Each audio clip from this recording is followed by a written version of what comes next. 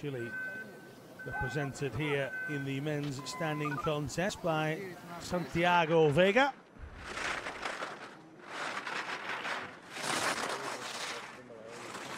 Santiago He's 20 years old. In his opening section, he's already 5.89 seconds back.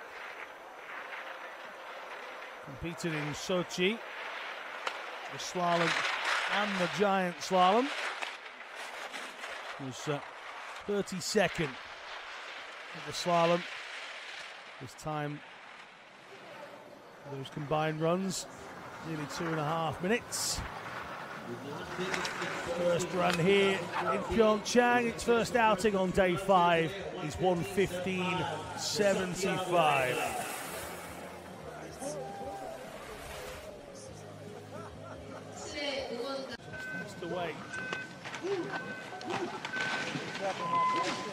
Santiago Vega.